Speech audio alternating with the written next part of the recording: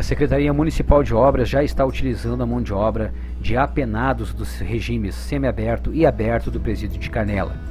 Desde a última terça-feira, dia 11, isso está sendo possível através de um termo de cooperação assinado entre a Prefeitura e a SUSEP, a Superintendência dos Serviços Penitenciários. O termo prevê que a atividade profissional será de até 8 horas diárias, não ultrapassando 40 horas semanais, de segunda a sexta-feira, nas atividades de roçada, capina, conserto de calçada e pintura.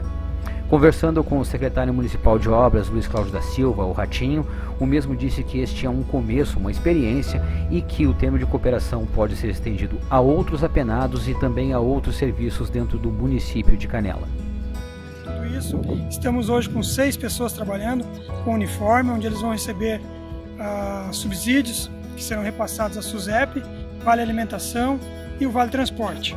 Isso é um começo e a gente espera, num curto espaço de tempo, poder, quem sabe, aumentar, ampliar esse trabalho, que pode chegar até 10 ah, apenados prestando esse tipo de trabalho.